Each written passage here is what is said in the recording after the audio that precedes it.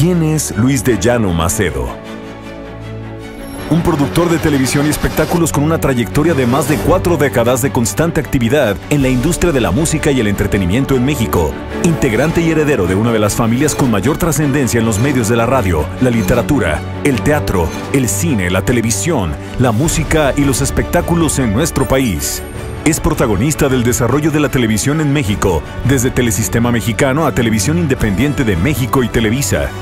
Productor de telenovelas emblemáticas, creador de series televisivas que innovaron en su concepto y han permanecido en la preferencia del público televidente hasta el día de hoy.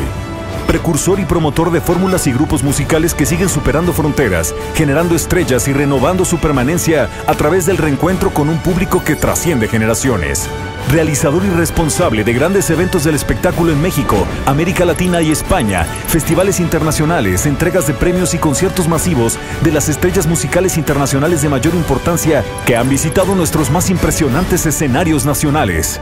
Pionero de las revoluciones y fenómenos musicales de la juventud en México, del rock and roll mexicano, del rock en tu idioma, al surgimiento, desarrollo y éxito de los más destacados grupos y solistas de habla hispana en nuestro país.